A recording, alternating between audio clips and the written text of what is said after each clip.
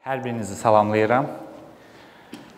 Əslində sual biraz qəribə səslənə bilər. Çünki özünü niyə sevməlisən?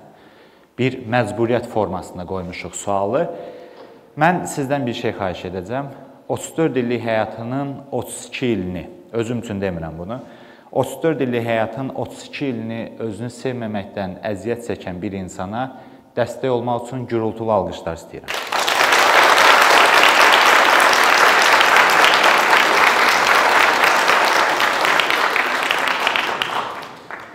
Əslində bu alqışlara çoxdan vərdiş etmişəm. Ta uşaqlıqdan. Özümü tanıyandan həmişə alqış eşitmişəm. Halaldır Nizami. Bravo Nizami. Maladets Nizami. Yəni fərqli-fərqli dillərdə. Xeyir dualar. Səni yetişdirən valideynə halal olsun. Nə gözəl insansan. Nə gözəl oğlansan. O qədər, o qədər eşitmişəm təriflər. Amma daxildə bir doymayan canavar olubdu. O canavarı mən 32 il daxilimdə yaşatmışam. O canavar elə hey nəsə istəyib məndən. O canavarı yaşatmışam, amma o canavardan da xəbərsiz olmuşam. Ta uşaqlıqdan formalaşmış bir canavar. O canavar nə canavardır? O canavar bu sualın tam əks hissəsində duran bir canavardır. Ona görə sualı özünüzü niyə sevməlisiniz? Yəni məcburiyyət şəklində qoymuşam bugünkü çıxış üçün. O canavar necə formalaşır? Mən öz şəxsi misallarımı çəkəcəm. Hər kəs də özü üçün öz həyatına oxşar məsələləri düşünə bilər. O canavar formalaşmağa başladı 6-7 yaşından.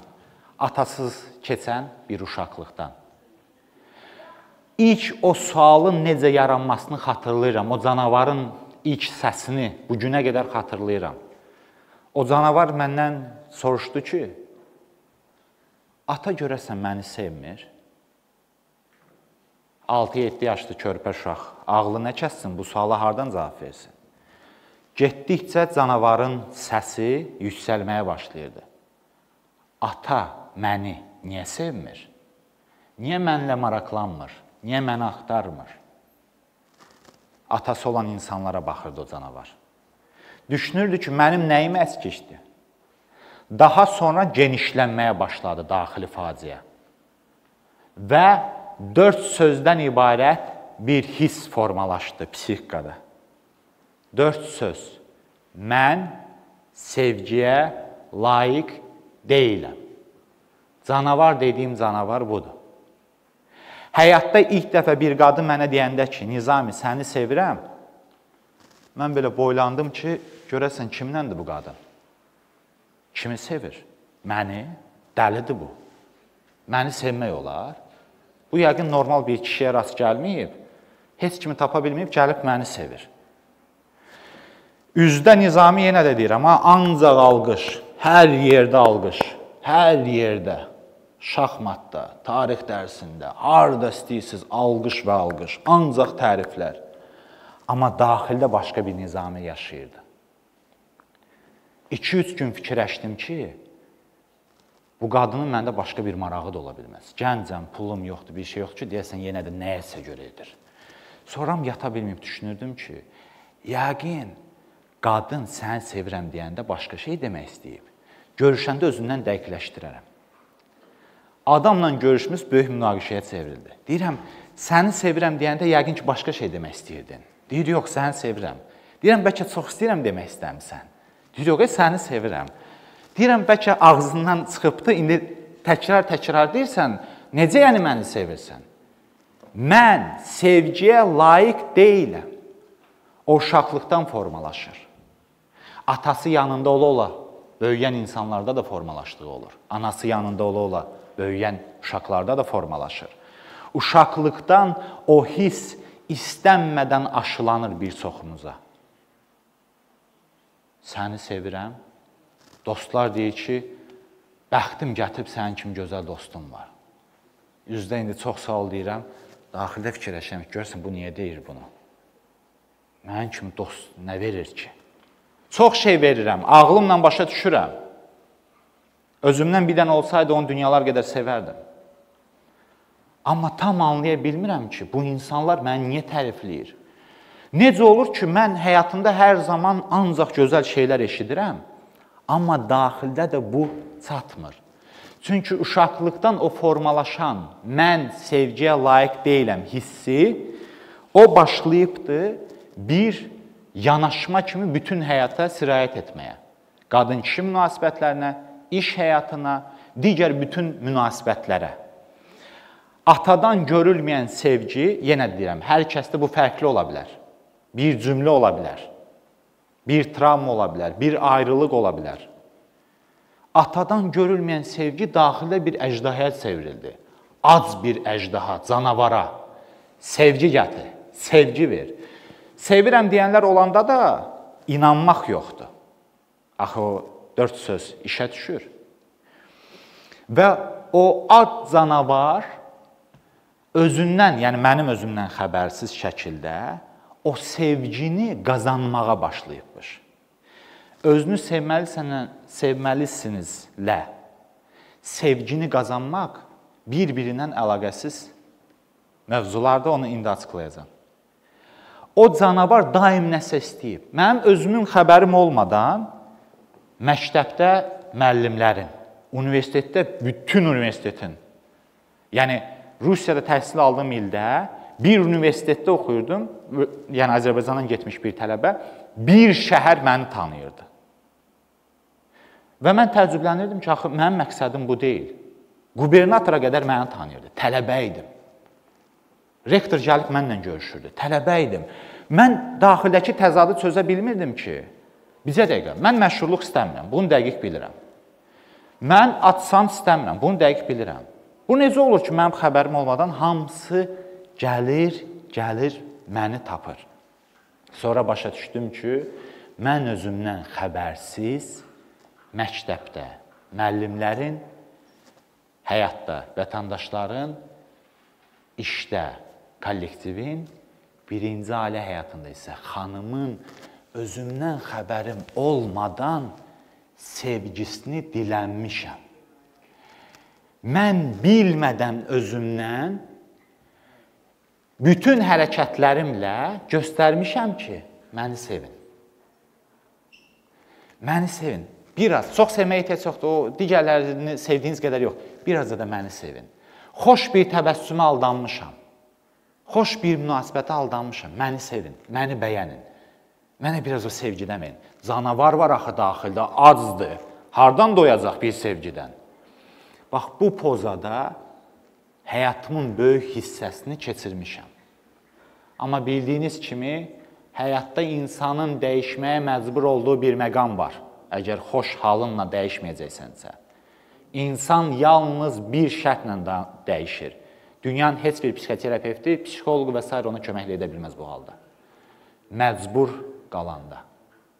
Və bir gün elə bir məcburiyyət qarşısında qaldım ki, şəxsi həyat və iş həyatında böhranlar üst-üstə düşdü. Bir də başa düşdüm ki, mən dibin dibindəyəm. Burdan o tərəfə yoxdur. Yəni burdan o tərəfə yoxdur. Artıq bu dibdir. Çatmışıq şükür Allaha. Ayağımız dəydi yerə. Suda nə vaxtsa batma təcrübəsini yaşamış insanlar bilir. Mən də yaşamışam o hissi. Ayağın yerə dəyəndə sakitləşsən, təzədən oradan çıxırsan. Və mən ayağa durmağa başladım. Ərizəmi yazdım, iş yerindən çıxdım. Ailə həyatı da sonlandırıldı həmçinin. Birdən-birə həyat sıfırlandı. Bir var insan bir sahədə böhran yaşaya. Bir də var bir neçə cəbhə eyni anda çökə. Həyat sıfırlandı. Həmin o sizə dediyim an var ha, dibi yaşadım. Həmin anda iş yerində kabinetdə oturub qabağımda ərizələrin nümunəsi idi, işdən çıxmaq ərizəsi. Və mən baxın, onu da qeyd edim ki, Yəni bütün bunları bu boyda psixoloji bilik və təcrübəyə malik ola-ola yaşayıram. Bəzən mənə sual verirlər ki, Nizam bəy, siz psixoloq ola-ola başınıza bunlar gəlibsə, məndən nə istəyirsiniz? Bildiniz necə? Yəni o bu təhsillə, bu təcrübə ilə, yəni o təcrübə xaricdə başlayıb sonra ölkəyə gəldim. Bunlar yaşandı. Və o ərizə yazarkən yazmağa məcbur edən hiss xatırlayıram. Canıma bir üşütmə düşmüşdü. Adam soyuqlayanda necə titrəyir? Amma sağlam idim. Canıma üşütmə düşmüşdü. Çünki mən həyatda insanın qarşılaşa biləcəyi ən böyük canavarla üz-üzə idim. Bilirsiniz də insan özündən başqa düşməni yoxdur. Heç kim o pisliyi insan edə bilməz. Heç kim. Min düşmən bir araya gəlsə, bizim özümüzə etdiyimizi edə bilməz. Çünki düşmən üzdədir, görürsən, sözünü, hərəkətini hesablayırsan, daxildə gedən prosesləri isə bilmirsən. Bunlar hamısı uşaqlıqdan formalaşır bizim çoxumuzda. Fərqli-fərqli sözlərlə, fərqli-fərqli yanaşmalarla, kimsə zarafatla deyir, kimsə elə belə deyir, kimsə düşünmədən deyir, amma körpə psixikası hələn bunlara hazır deyil. Körpə psixikasının özünə münasibəti və s. formalaşmayıb. Onlar hamısı ailə həyatından formalaşır. Ata-ananın bizə münasibəti və ətrafımız. Ətrafımızda nə olur? Yəni məhdud sayda insanlardır, sinif yoldaşları, oradakı müəllimə, kimsə bəxti gətiribsə, müəlliməsi psixoloji sağlam insan olub, qalan böyük əksəriyyətin bəxti gətirməyib bu mövzularda. Və bu şəkildə bizim özümüzə qarşı münasibətimiz formalaşır. Həmçinin digər bütün insanlarla olacaq münasibətimizin artıq sxemi deyim, mexanizmi deyim, ssenarisi formalaşıbdı. Baxın, aranızda kim güzgü qarşısında dayanır hər gün? Əlinizi qaldırınız əmtamız. Çoxunuz qaldırdınız. Diş fırçalamaq və xanımlar saçınızı qaydasına salmağı nəzərdə tutmurdu. Kim özünə baxmaq üçün güzgü qarşısında durur? Qaldırılan əllərin yarısı geri düşdü. Bax bu güzgü qarşısında duranda özünüzə baxanda orada gördüyünüz insana qarşı münasibətiniz nədir? Əla. O ilkin cavabdır. Bəli. Əladır. Mən güzgüyə baxanda orada gördüyüm insana deyilmiş sözlərin bəzilərini xatırlayıram. Uşaq vaxtı mənə deyirdilər ki, elə bil bastırılmış stolbadır, çıxıb gəzir. Onu düşünən insana halal olsun bu arada.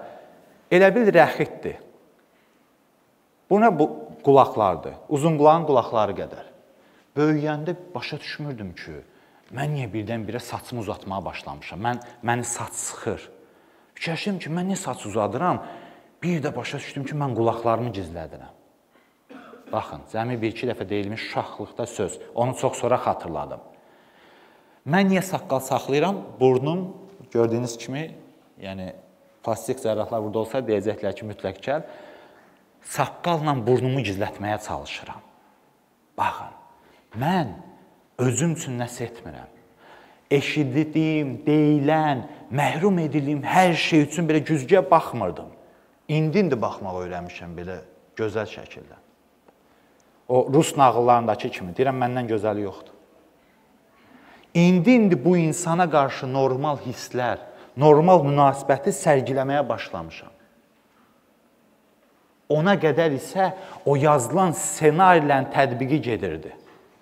Güzgü qarşısına gəlirdim və deyirdim, bu nə burundur həqiqətən də. Bu nədir? Yaş getdikcə burada qurbağa kimi nəsə yaranır. Bu nədir? İlahi, bunu necə aradan götürmək lazımdır və s. və s. O özünə sevgisizlik o dərəcədə yaranmışdı ki, özümü sevməyi də bilmirdim. Ətrafında özünü sevən insan da görmürsən axı. Bilirsiniz necə? Yəni özünə dəyər verməyən böyüklər, öz həyatını fəda verən anan, qadınlar, bilirsiniz necə? Baxırsan ki, indi futbolu öyrənəndə futbolçuya baxıb onun kimi top vurmağa çalışırsan. Baxırsan ki, kimdən nümunə götürəsən? Özünü sevmək necə olur? 2015-ci ildə Azərbaycana qaydanda ilk 100 günümdə, yəni psixoloq praktikasını artıq başlayanda mən qəbulda çox vaxt belə suallar verirəm. Özünüzə sevgi haqqında soruşuram, özünüzə münasibətiniz haqqında soruşuram və s. İlk 100 gündən sonra mən başa düşdüm ki, bu millətin özünə sevgi ilə bağlı çox böyük ciddi problemi var. Mən özünüzü sevirsinizmi sualıma konsultasiyada ən sərt cavabları eşidirdim. Nə? Özünü sevmək?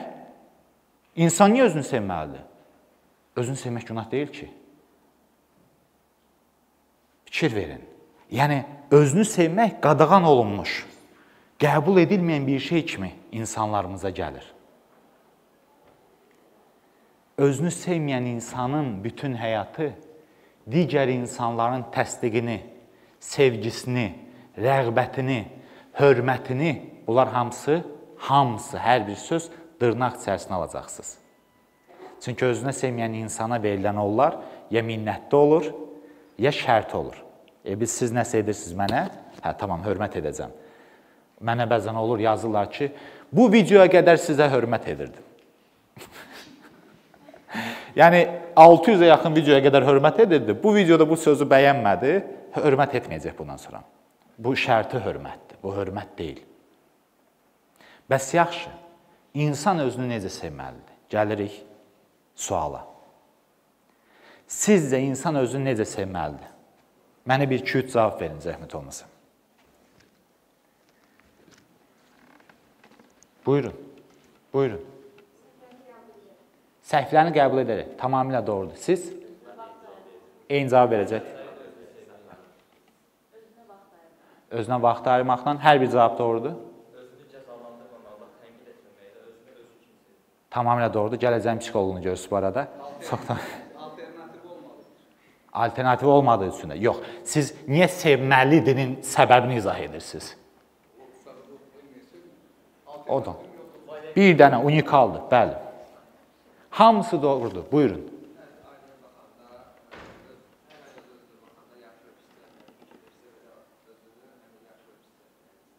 Bəli. Millətim deyəsən özünə sevgini öyrənir yavaş-yavaş. Bəli, buyurun. Bəli.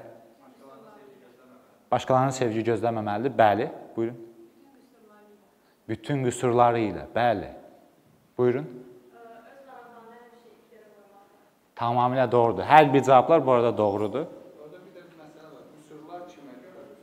Bəli, o da var və son olaraq izah edirəm bu sualın cavabını. İnsan özünü baxın, siz hər biriniz bu güzgüdə özünüzü görürsüz. İnsan özünü qeyri-şərtsiz qəbul etməlidir. Qeyri-şərtsiz. Onun mən nəyə görə güzgü ilə çıxdım bura? Çünki güzgüdə gördüyümüz zahiri obrazımızdır. Zahiri obraza münasibət çox vaxt başqalarının sözü ilə formalaşır və yaxud da dəb. Bu gün dəb çox aqressiv şəkildə insanlara aşılanır. İnsan özünü qeyri-şərtsiz. Qulağım böyükdür. Məni sevməyənlər bu qulağa qurban olsunlar. Burnun böyükdür. 100 il bundan qabaq Titanikə bu burun batırıbdı. Fikir verin. Mən düymələmirəm heç vaxt. Hamı şərh yazır hər videonun altında ki, düymə açıq qalıb. Məndən belə xoşdur. Mən belə sevirəm. Mərkəzimdə videolardan gördüyünüz kimi ayaqlarla gəzirik, ayaqqabısız.